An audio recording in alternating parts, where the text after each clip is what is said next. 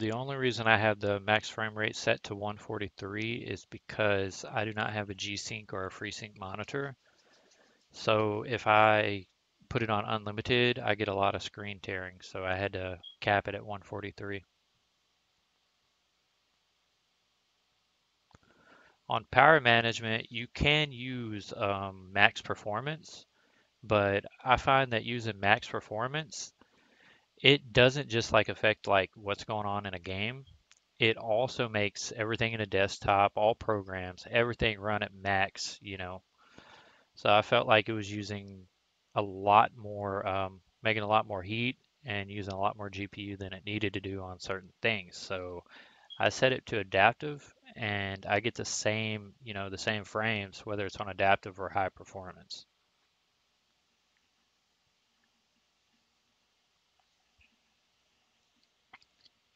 I wanted to make this video as short as possible, so not to sit here and talk for 10 minutes about certain settings and whatnot.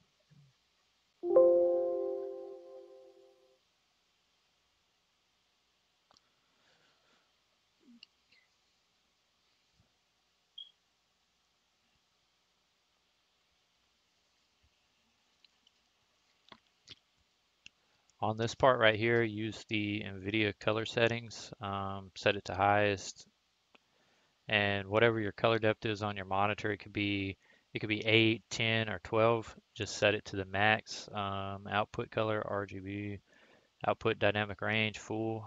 Let's see. This is another one.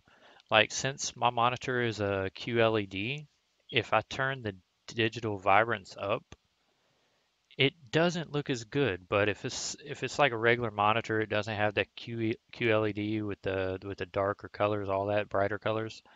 You can turn this actually up to 70 or 80. Like you can tell how it looks on mine. If I turn it up to 80, it doesn't look so good because my color is already pretty good at 50.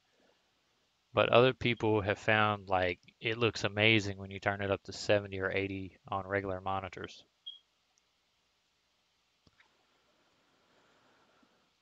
This should be set on landscape. Um, you can just skip over the HDCP and also the audio thing.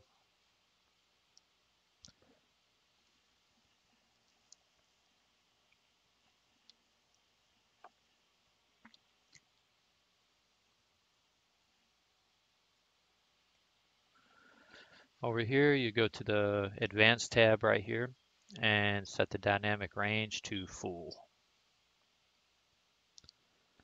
And that is pretty much it. Also, make sure you have the newest driver also, so your games run good. Anyways, enjoy the video, test the settings, tell me what you think.